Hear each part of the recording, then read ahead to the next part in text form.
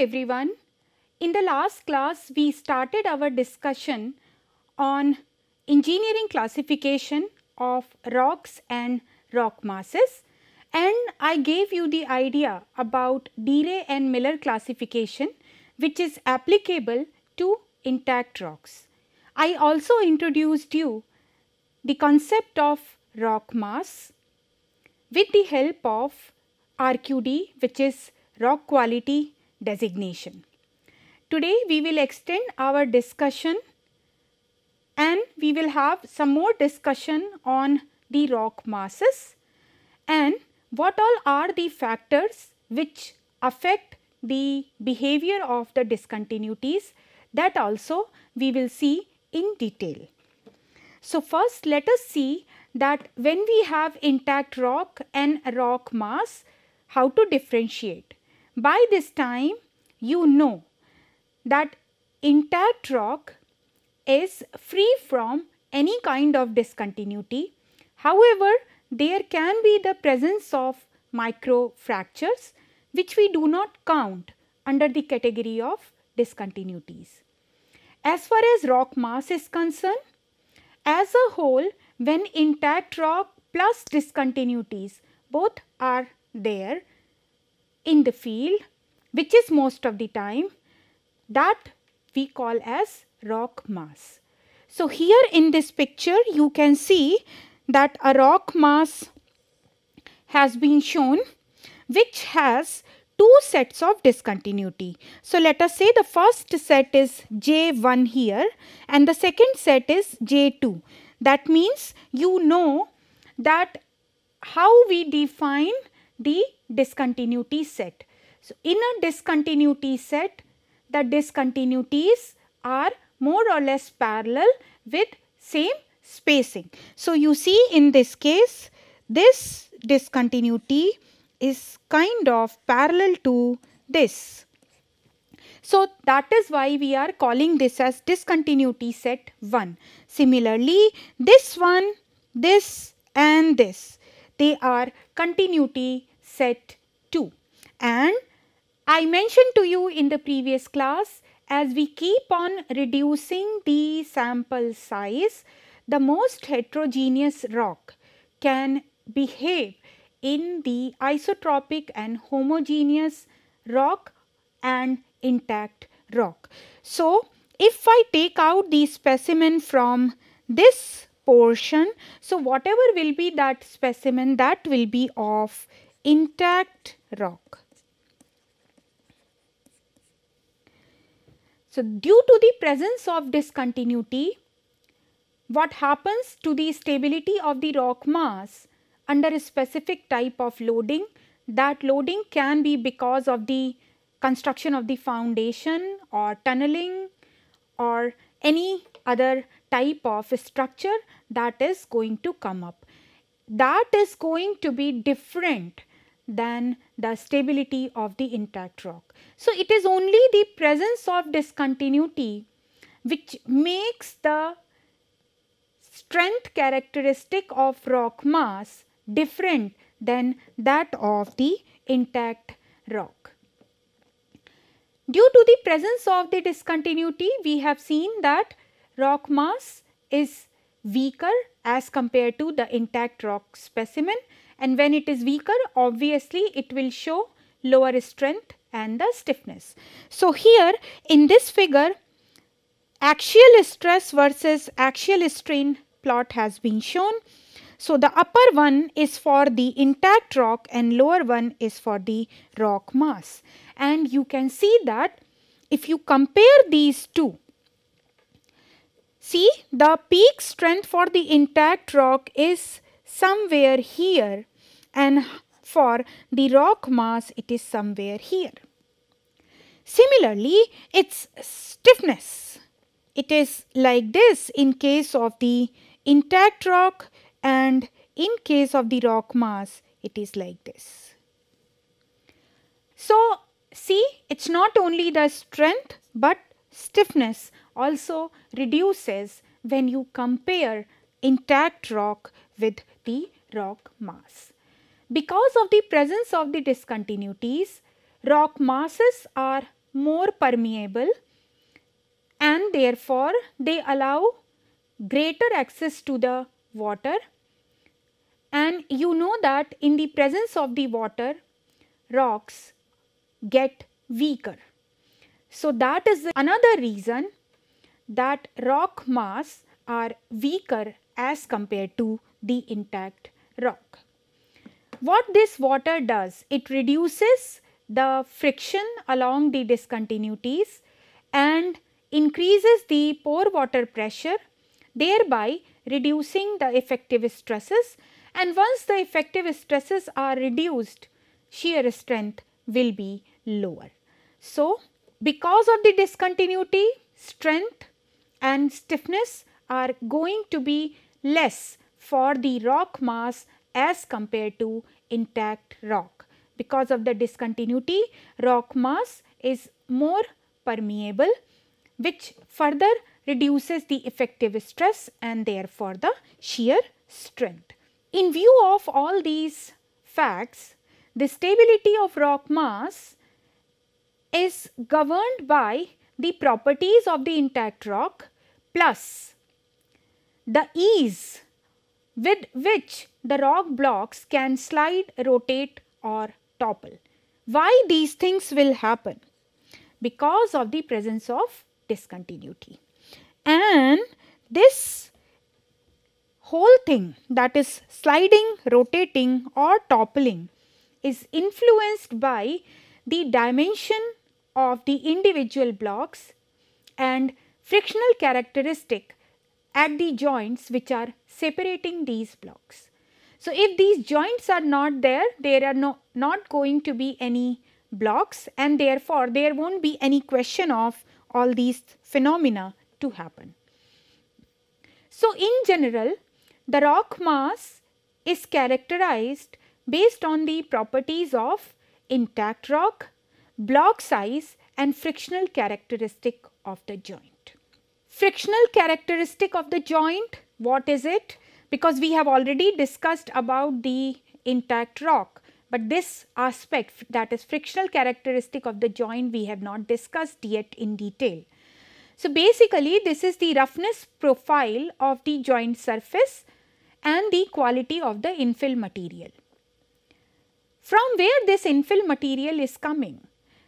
in the field wherever there are joints either they will be tight or they will be open joints. If they are tight or closed joints it is fine the wall of the rock they will be in touch with each other in contact with each other. But if the joint is open then it may happen that some material like for example clay has been deposited in between that open space between the two rock wall. So, that material is called as infill material. Discontinuity is a general term which is used for the description of fault, joint, bedding planes, foliation, cleavage plane or schistosity. These things we have already discussed and I already have told you about various elements of these uh, geological structures and the discontinuities. Now, once again just uh, for the completeness, faults are the planar fracture along which uh, noticeable movement has already taken place. Joints they can be filled or unfilled fractures within the rock mass and there will not be any sign of the relative movement on either side of the joints in the rock block. Take a look here. The, there are two pictures. One is showing a filled joint, filled joint and this is an open joint just focus here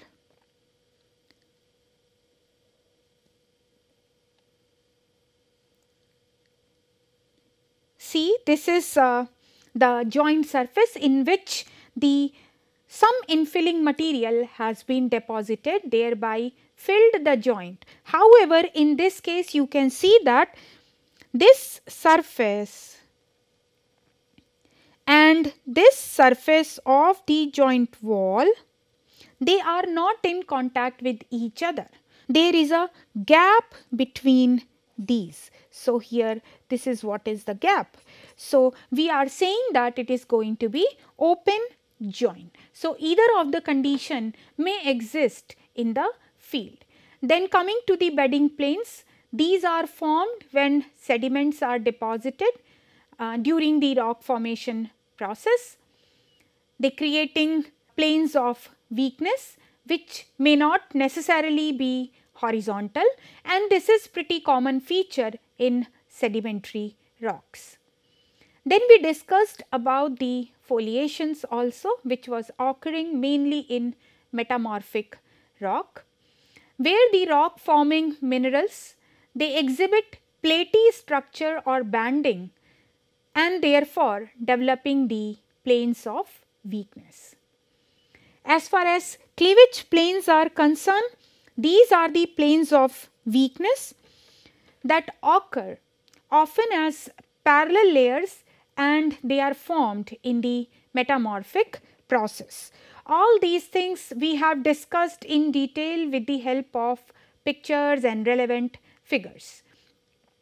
Then the next category is schistosity it is the type of the cleavage which is seen in metamorphic rocks like uh, schist and phyllites where the rocks tend to split along the parallel planes of weakness. Now this rock mass can have any number of joints.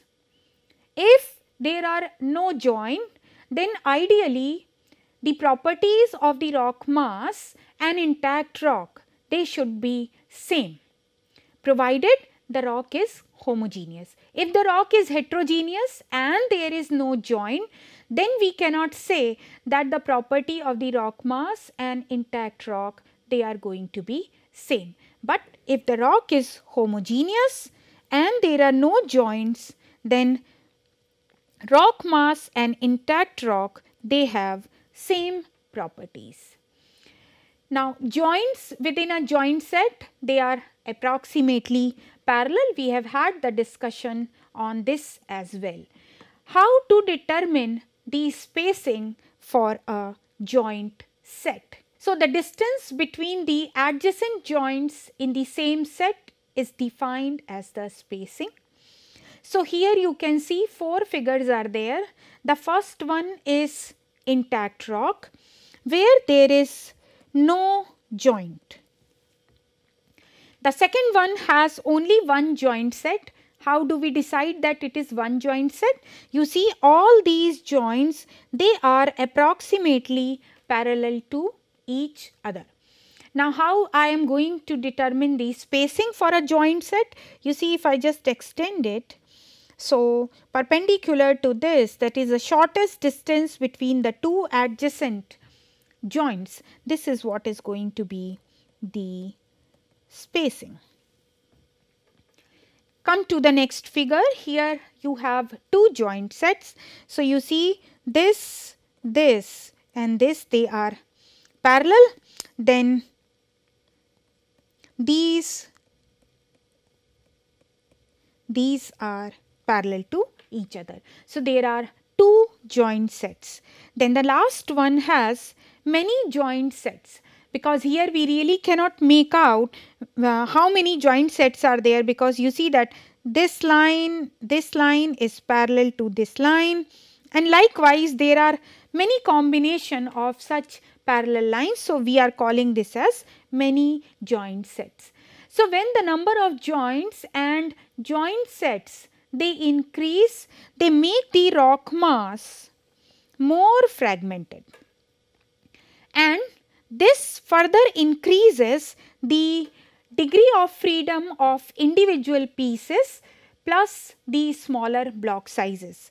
So, you see that in this case the block sizes are smaller as compared to all these cases. In this case the block size you can obtain of this. In this one it is little bit bigger. However, in this case you see it's a small small block size which you will be able to get from here. So, when you have more number of joints and joint sets, rock mass is more fragmented and this results into the increase in the degree of freedom of individual pieces plus there is going to be smaller block sizes when you have more number of joints and joint sets. Now coming to the factors which affect the discontinuities, some of the factors have been listed here.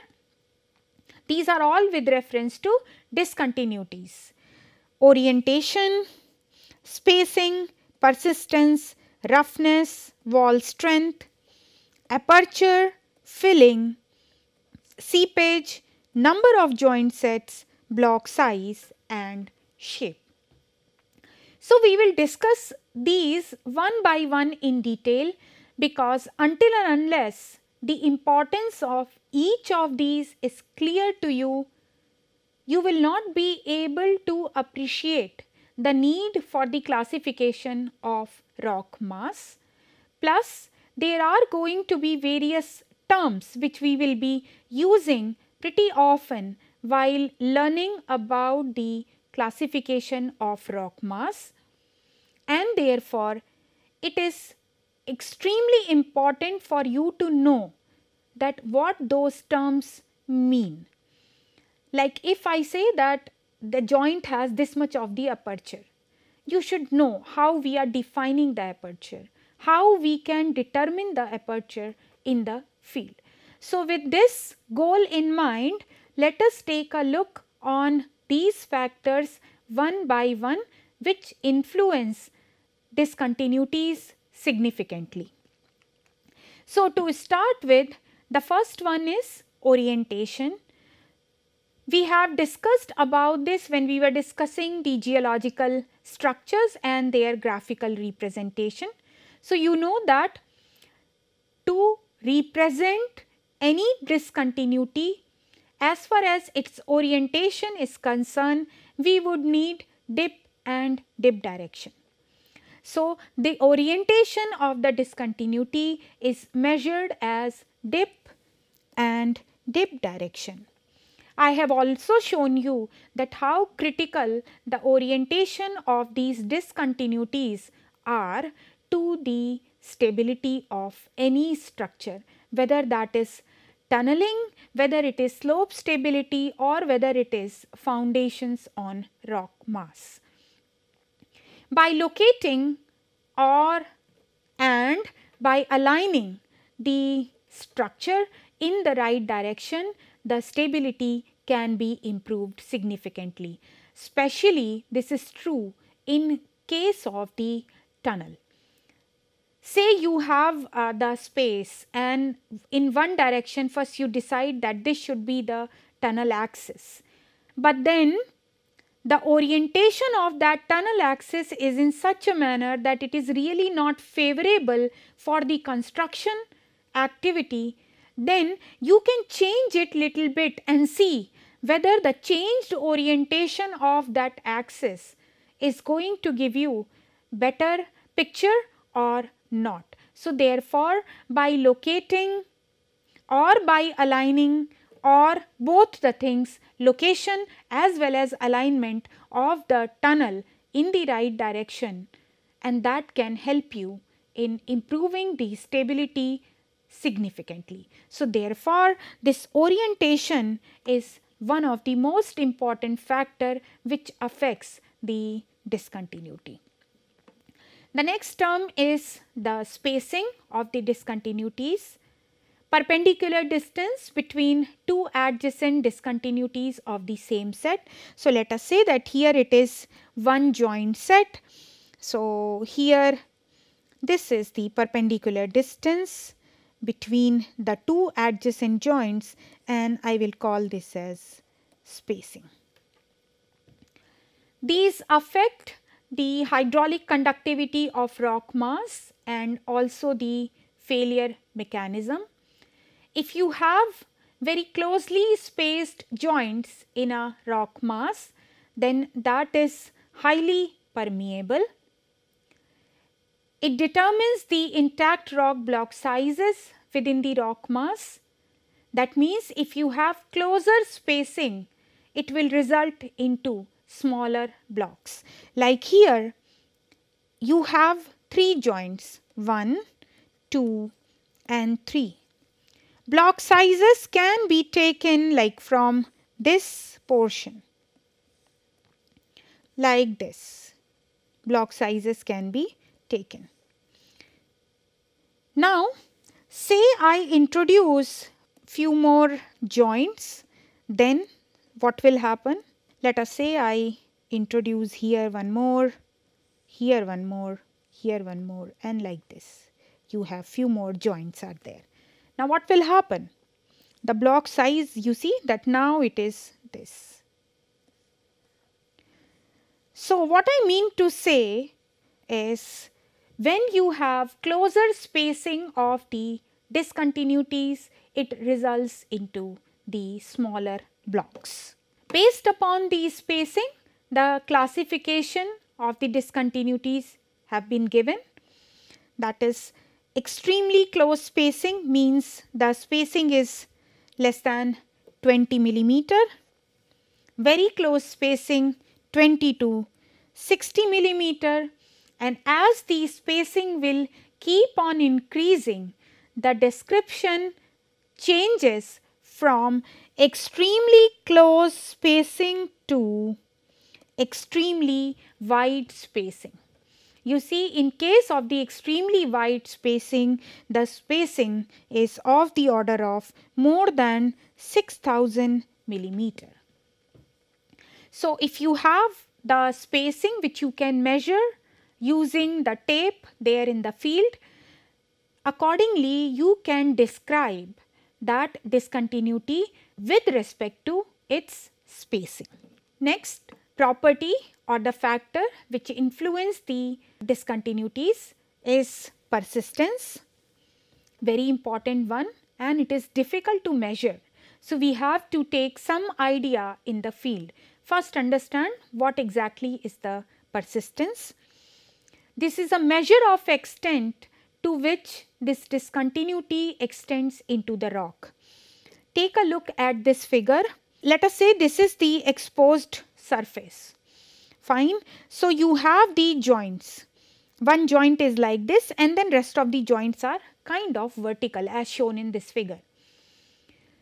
Now, if by some mean let us say that we get to know that this joint is extending into the rock mass like this. However, this joint set you see it is not extending it is like this. So, these are called as non-persistent joints. However, which is extending in the rock that is called as persistent joint. So, in other words, this signifies that what is the surface area of the discontinuity. So, you see that in this case the surface area of the discontinuity will be something like this. Okay. So, the area taking part in any possible sliding that is very important in the stability analysis and obviously that area which is taking part in any possible sliding is related to this term persistence. So, one needs to be careful about this factor. Although it is very important from the stability point of view, but it is very difficult to determine. So, as a crude measure of persistence, the trace length of the discontinuity on the exposed surface can be taken as the persistence. Please remember trace length of the discontinuity which is exposed on the surface that can be taken as a crude measure of persistence. Spacing and persistence they control the size of the blocks of intact rock that make up the rock mass. How to measure this persistence in the field is with the help of a measuring tape. So, basically whatever is visible that is whatever is the length trace length of the discontinuity which is visible on the exposed surface as a crude measure that can be taken as the persistence. Based upon the value of this persistence or the trace length, one can describe the joints or the discontinuities with respect to persistence. If the trace length is less than 1 millimeter, then it is very low persistence. If it is 1 to 3 millimeter, then it is low persistence and so on. If it is more than 20 millimeter, then it is very high persistence. So, this is how the description for the persistence can be defined based upon the trace length of the discontinuities. Coming to the next factor that is roughness. It is very very important because most of the stability analysis when you carry out for the rock mass it is this factor which contributes a lot towards the strength characteristic. When I say roughness, these refer to two things. One is the large scale surface undulations or the waviness which is observed over several meters and the second one is small scale unevenness of two sides related to the mean plane which is observed over several centimeters. One is large scale, second one is small scale. The large scale runs over several meters. However, the small scale unevenness observed over several centimeters. From this figure take a look there are three different roughness profiles which have been shown. So, the first one is class 2 that is smooth and stepped. You can see here if I take a small portion and zoom it here like this. So, you see what do we mean by smooth and stepped. Then the next one is rough and undulating. So, you see it is undulating and when you take the close up of it, so you see here it is rough. Likewise, rough and planar. So, what is the difference between this and this? In this case, it was undulating, while in this case, it is more or less planar. And when you take the close up of a part of this again you see here it is rough. Let us further understand this. So, when we have the large scale undulations these are stepped undulating or planar. Small scale undulations they are rough, smooth or slicken sided. So, here in this figure you can see that when I say stepped means this is giving us the idea about the large scale. And when I say smooth, this is small scale. And as it is clear from the figure that whether it is stepped or undulating or planar, that we can see, we can visualize that just by looking at that figure. But the small scale unevenness cannot be seen until and unless you zoom a small portion out or take the close up of that then only you will be able to get like here you see this is more or less smooth and here this is rough and this is also rough. Slicken side means it is the standard term which will be used for smooth, slick, shiny surfaces that looked polished. So, uh, in uh, the rock mass classification system when we will be assigning the rating, so there will be many tables where these terms will be used quite often. So, it is better that you understand these terms right at this moment. Now, combining the large scale undulations and small scale unevenness, roughness of the joints they are classified in 9 classes. Have a look here. This is uh, roughness is represented as JR. So, in this fashion in this direction it is the increasing roughness. So, you have 9 classes 1 to 9 and then you have all the combinations. So, you see the first one is all 3 stepped but small scale unevenness is varying rough, smooth, slickensided. Similarly, the next three are for undulating large scale uh, roughness and again you have the three category rough, smooth and slickensided and similarly for the planar you have rough, smooth, smooth and slickensided. So, the rating has been given like 0.51 and it is going up to 4. So, wherever this superscript A is there like for these three values, uh, these are uh, defined, these roughness were defined by Barton and rest other by Hoek et al. in 2005. We will discuss these in detail when we discuss the classification of the rock mass. Now, uh, the large scale surface undulations, they have greater influence on the roughness as compared to the small scale unevenness. Take a look at this table.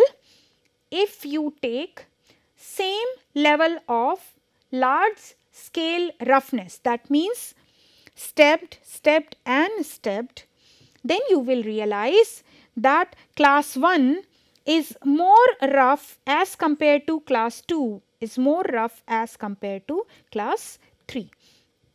So, the rating for the roughness for class 3 is minimum here it is 2 as compared to for the class 1 which is 4. Similarly, if you compare in the second category of the large uh, scale roughness that is undulating the same pattern you will see and likewise you will have the same thing for planar. Now compare on the basis of small scale unevenness like rough, stepped, rough, undulating and rough planar. That means for all these three the small scale unevenness is the same, but large scale roughness is different.